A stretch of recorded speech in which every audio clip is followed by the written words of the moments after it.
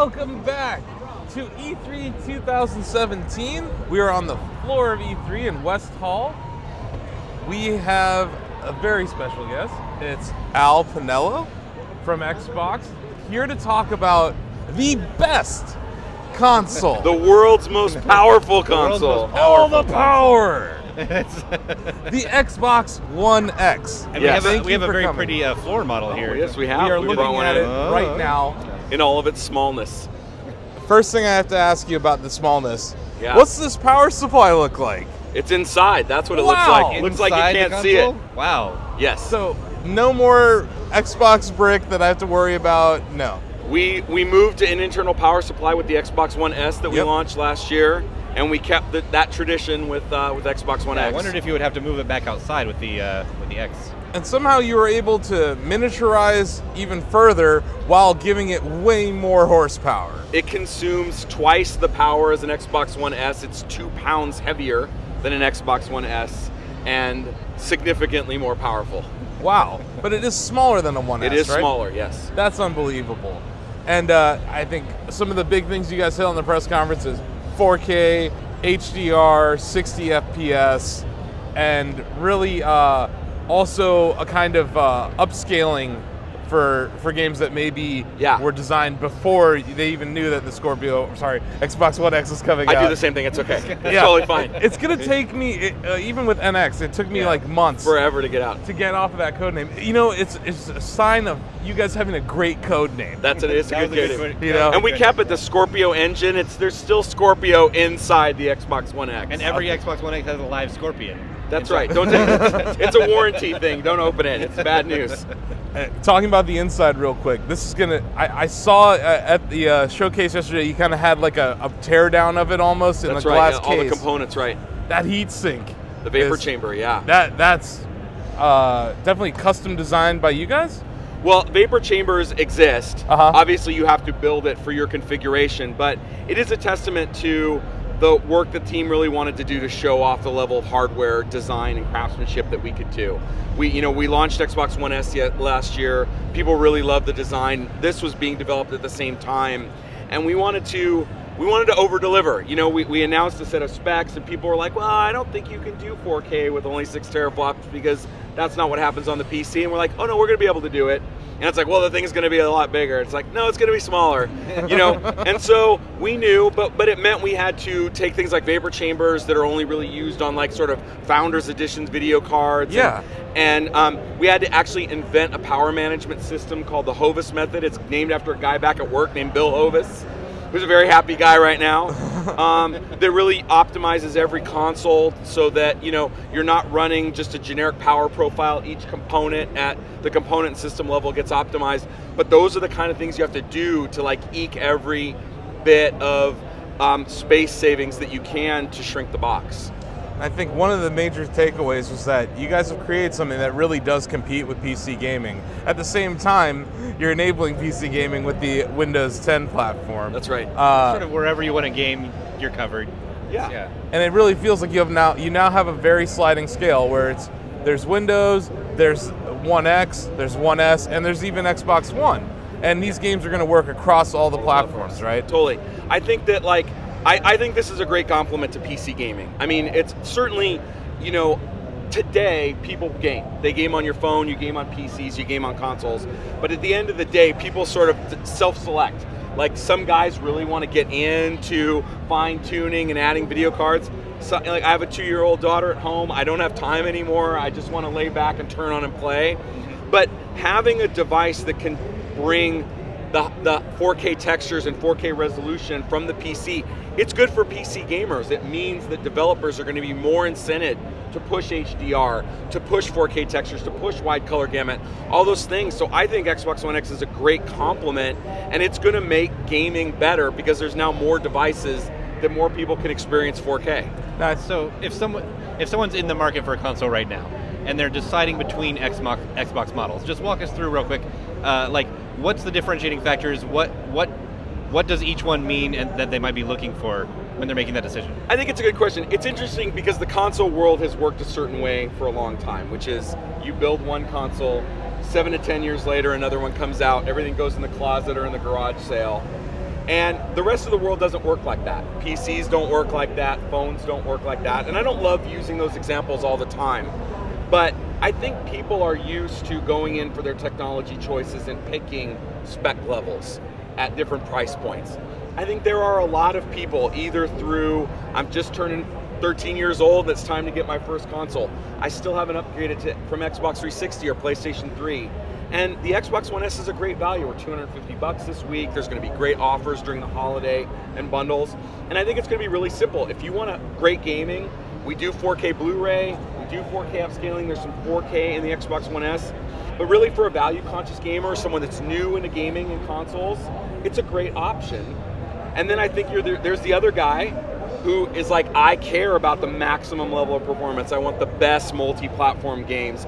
I'm getting a 4K TV. I want to show off to my friends, uh, and that's going to be the guy that wants the Xbox One X. And, and it sounds like this is sort of based on uh, trusting the consumer a little more. Like uh, I, I, think in the past there's been a lot of like uh, a fear about getting too technical, fear you're going to turn people off, or that people won't know what you're talking about.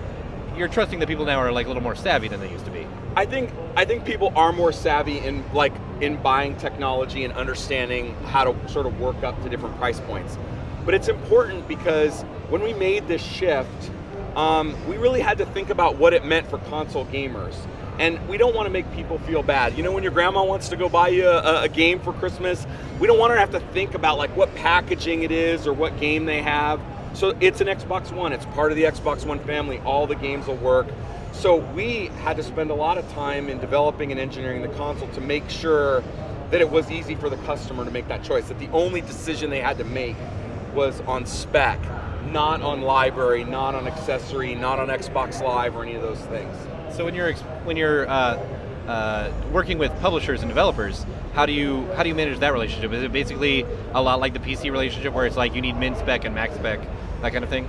Yeah, again, I think from the beginning, you know, we actually developed a new dev kit for Project Scorpio. So when we announced Project Scorpio, we were actually building two different things. We were building a consumer console and we were also building a development kit. And again, it, it goes to the point that we wanted to make developers' lives really easy.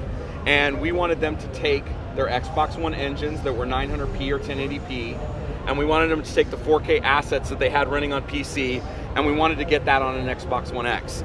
And we've heard, uh, and I'm sure you guys have heard stories that developers are getting their games up and running in 4K in just a few days. So again, we knew the, where the developer was going to be. We, we wanted it to share the engine. We needed the performance to get the assets, and we spent a lot of time to make it really easy for developers to do that. I think one of the best things about Microsoft is you're a software company at heart. It is. And where I think your competitors, let's talk about them just for a second, you know, they have the PS4 Pro a lot of devs are saying, yeah, we tried to upscale, we can get 4K, but we're pushing 30 FPS. What I saw at your press conference was an ease of upgrading for the devs. And I think that goes back to just, at its heart, yes, Xbox is hardware, but there's also a lot of software and a lot of solutions that you had to come up with to make it something that works so broadly across your platform. It's true. It is it is probably the area of the console that most people think is the easiest but software people know is actually the hardest. Yeah, absolutely. Getting um, all of the games to just work, getting your old games to work and work better, making it have new capabilities to get the new games to be great in 4K, it was actually one of the biggest challenges, and we absolutely had to get it right. It couldn't be anything but right. And so it is one of the nice things about having developers who develop software working on things like this. At the same time, we wanted to show off our hardware muscle a little bit. Yeah. You know, like we talked about before. And so I do think, you know, again, backwards compatibility, another case where the guys at work are just ninjas and they wanted to be able to deliver back compat. And that's another thing with having a software you know ninjas that we have back at going Microsoft. all the way back to the original The Xbox. Not only, and by the way, the discs work. Crimson Skies. You can actually take your OG Crimson Skies disc and put it in an Xbox One, and it That's will. exciting. You can Those, system those link. garage sales are useful now. That's right. Go go out now to the garage sales. I should have never have gone to GameStop.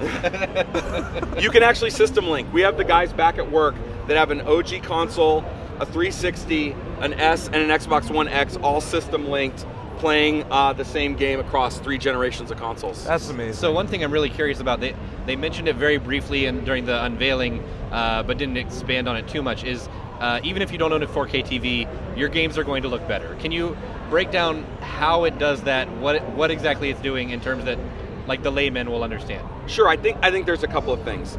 Um, every game that runs on Xbox One S today will run better on an Xbox One X. There are some in- inherent hardware choices that we made. We have a 50% faster hard drive. Um, and so your game times will load faster. Your, uh, your existing games will load faster. We, um, we've added some hardware techniques like anisotropic filtering that we can apply to the old games, so texture filtering is a little bit better. Um, games that run at dynamic resolution and dynamic frame rate will run faster on an Xbox One X. So right off the bat, before a dev has touched code, your old games are running better. And then for the new games, um, you know, I, I, certainly encourage your audience to go look up some of the great videos about super sampling. And effectively, what it means is the game is outputting in 4K. All the, the high resolution textures and all the detail and all the assets exist. And it's a technique that basically shrinks that down um, onto a 1080p screen. So if you compare a 4K super sampled image on 1080p to a native 1080p image, it looks significantly better. So your games will look a lot better on a 1080p TV than it would if it was just the native 1080p version. I think you guys are timing the release of this properly. Like prices of 4K TVs have dropped precipitously in yeah. the last three years. I think this is the right time to be like, you know what, 4K is here. This isn't like some 3D TV fad. It's here. We care about it. There's an actual measurable difference. Yeah. I think that's that's one thing that really helps you guys at this moment. A thing I have to ask, because this is now the third iteration we've seen of the Xbox One, and I think we kind of talked about this on the software front.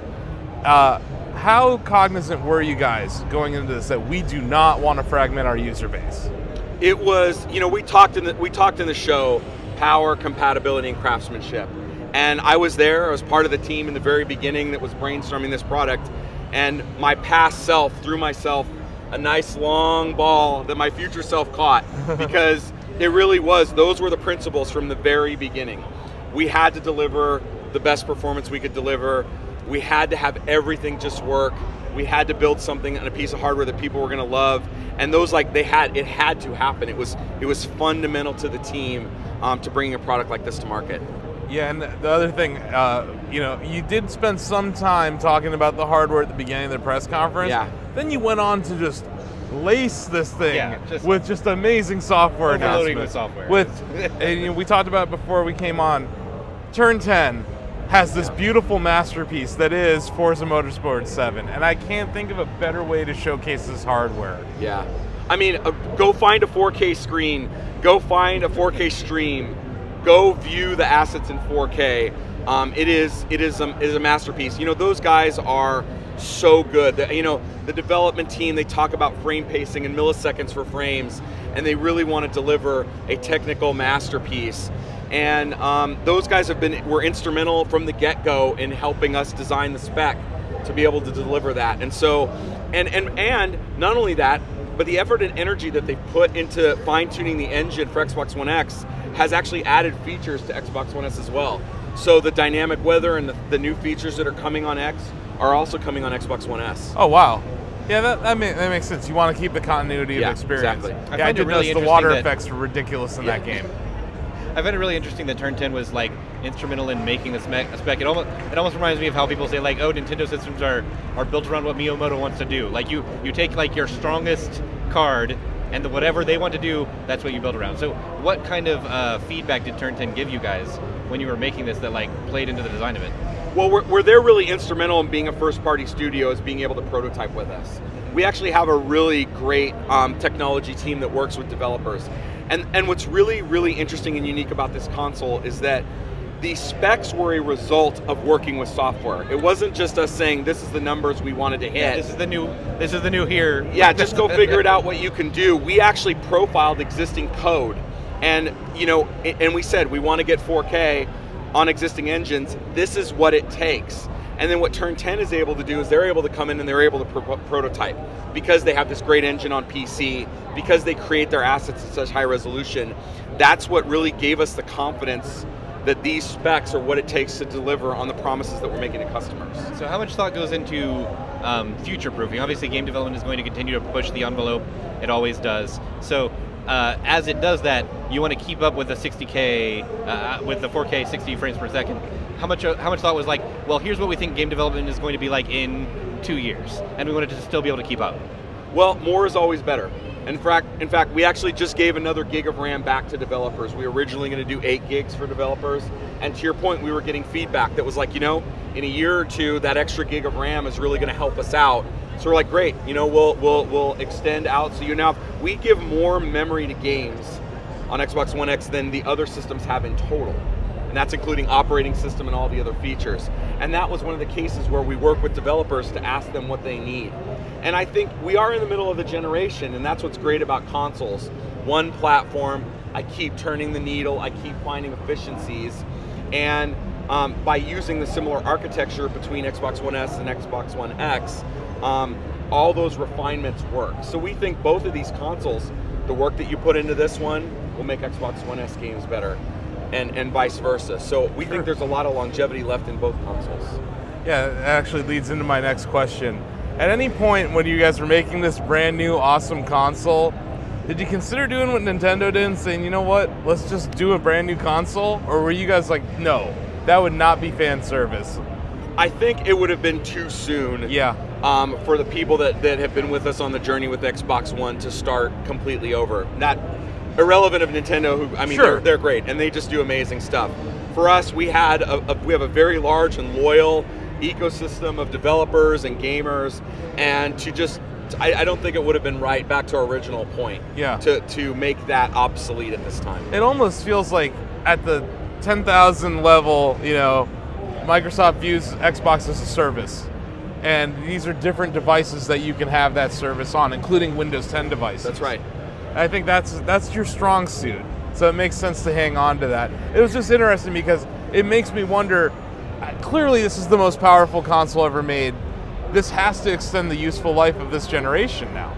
That's right, and I think I think it is it is a case where um, outside of the internet sort of fanboy thing that happens between PC and console platforms, real people care about their content. Real, you know, you're playing on a PC, you're playing on a phone, you're playing on a console. You play on different devices, and you might self-identify as like primarily a PC gamer or console gamer, but I think what you care about again with the phone is when I get that new device, all my old stuff just works. Yep. And so that is really like the vision of like play anywhere is that you know maybe I'm going to graduate from console to PC gaming. Maybe I'm going to come out of PC gaming and go to console. Yep. As when you have a kid. But why does my library have to go or my save games or my progress in Forza? And now I could pick up where I left off on any platform across, you know, two different console devices across PC.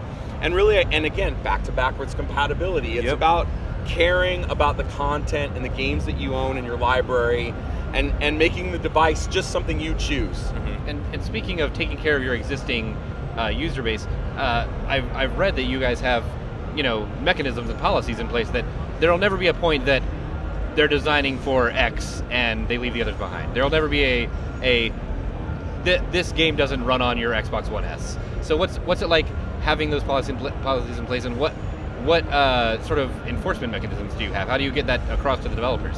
Well, I think the biggest enfor- enforcement mechanism is how we built the machines. And I think it is one of the things I think we had to reassure people of in the abstract when we didn't It's, announce it's, it's something that machine. can be very scary to people. right, yeah. people could be worried, man, I just bought this thing.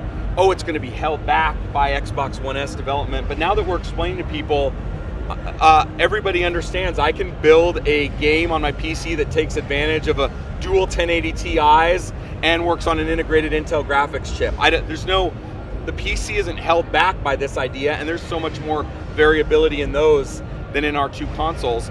They are the same machine at their core, in their development environment, the engines that they run, they are the same machine. And so I think that is the enforcement mechanism. There's no reason to, to do it. There's plenty of horsepower. It's very easy to take advantage of the incremental power here. And all that work comes along on Xbox One S as well. And I think it also helps that you guys have been developing Xbox Live in tandem with your systems for, you know, 15 years now, or over 15 years. So you have an online infrastructure that supports that kind of cross-platform ability. I think uh, we had Crackdown here earlier. You're telling me you're going to be able to do four-player co-op, one with an Xbox One, one with an S, one with an X, and one on PC. Yeah. Who else can do that? Right. You know, I think that really, uh, the more that I think about your strategy, that's where I think you have really uh, changed the game with the Xbox One S. Eh, X. Uh, sorry, No, the, it's the letters are confusing. we'll call it Scorpio sometimes. All right. But uh, I really think you guys have this tiered sort of strategy where it's like, no, this is all Xbox, and I think no one else really has that. Yeah, I agree. Again, it, it is the idea that um, we want we care about your software. We want you to play the games you want to play. We don't want the device to get in the way, but we're going to work with PC developers and we're going to continue to be push hard on PC.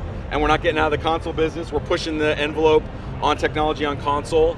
Um, and, and Xbox Live is the thing that, that weaves all these things together. You heard it. They're not getting out of the console business. They're not. They just made a new console. They made a brand new- right here. Where's the brand new one? Enough of that talk. Thank you so much, Al, for coming. you. Congratulations. Thank you. I'm sure you guys have been working on this for a long time. Congratulations, to everyone in Redmond. I on this. appreciate it. Thank you so much. Thank you. Thank you very much. I love you too. Thank you. I got Aaron Greenberg yelling at us from offset. Aaron No, Greenberg. that was right a random there. fan, obviously. My, he is my number one fan. Thank you so much for coming to the Shack Games booth. We really appreciate, Appreciate it. it. Thank you. Thanks a lot. Thank you. Thank you. Stay tuned. We have Aaron Greenberg coming up next to talk to us about more Xbox awesomeness. oh, they've heard of you.